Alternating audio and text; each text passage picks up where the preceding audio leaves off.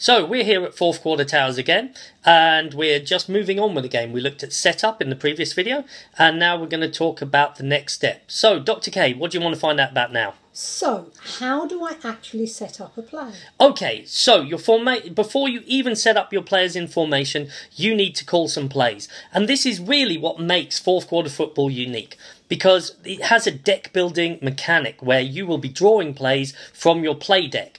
Now, your play deck is a deck of cards with different American football plays all ready for your team. In the proper game, in the full game, you would have selected the cards that you want to use for this game. But there are some rules on setup. The number one being that you may only have one of each play in your deck. So, let's see what we've got. At the start of the game, you would draw three cards. We're going to do this open. In the game itself, you would not do it open at all. You would be hiding these from your opponent. And we have three plays that have been called. Now, these three plays would then be what you could select for the actual play that you're going to run. But you don't use all three. You keep one of those in reserve. So in this case, we're going to keep our red run play in reserve for a later time. In the meantime, the other two plays, we have got uh, middle slants and we have got Isolate. isolate QB, sorry, QB left. Okay, so we're going to look at one of these uh, to start with. Let's look at the middle slants. Now, the middle slant has the grid, and it also has a quick diagram of the offensive line. Now, on the grid, they're showing that the flanker would get FL would get plus two if he caught it uh, in that zone, and the SE, the split end, would get plus one in that. Now, we'll let, then it has other information about the play, but let's look at this on the game board. If I move back to here, and we pick up our flanker, and our flanker needs to go into this zone at some point during the play. If he does, then he will be getting a bonus. So anywhere in this. Anywhere in that zone. So he could be there, he could even end up on the far side of it, but he's got to be on that zone. Now, the split end is going the other way. He's crossing over because this is a slant pattern that crosses in the middle, Somewhere. somewhere in that zone. Exactly. So if he's catching it there, but he doesn't get so much of a bonus because this play is really designed to go to the flanker. He's like your second choice player. Now, when we actually roll to throw th- this, there'll be a number of things that come in for the pass.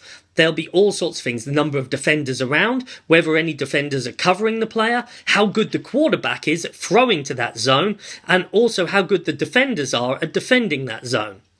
On top of that, though, we like to uh, have players, coaches run the play as it's called. Because in real American football, the coach does not suddenly uh, just have players improvise all over the place. This is a disciplined sport. So we have a really important rule in fourth quarter football, which is the rule of minus three. If you do anything that isn't on that play card. If you start scrambling your quarterback around, or if one of your players tries to go to a different zone, then their roll to uh, catch the ball will be at minus three. That significantly increases the chance of failure and increases the chance of a critical failure, a fumble, an interception. Now, the rule of three. Now, when Kara has. Uh, now, this play is middle slants. We've looked at where the two uh, receivers will go. In this case, the running back does not have a pattern on this, so he's just there for pass protection. Now, it says QB three step drop. In this case, that means the quarterback is going to move back one square. That's his three step drop. Usually, at some point, the running back will have already moved and the quarterback will move back one square. If it said five step drop, he would be dropping back a further square. That's usually reserved for those deeper passes when he's trying to hoof it downfield. Now, in the meantime, it also says that it's shoot first. Shoot first means that is a special rule that means on this play the quarterback does not have much time to get rid of the ball.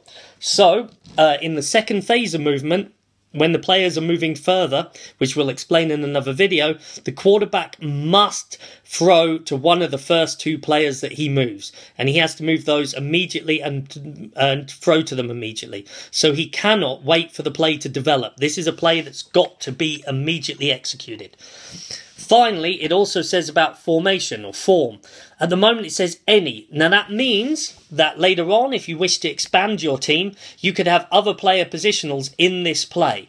Though they would still need a flanker or a split end to get the bonus. You wouldn't need both of them, but you definitely need one of them so that they could run this play. You might want to go with a slot back, or later on, if we develop a footback, fullback player, you might want to use him.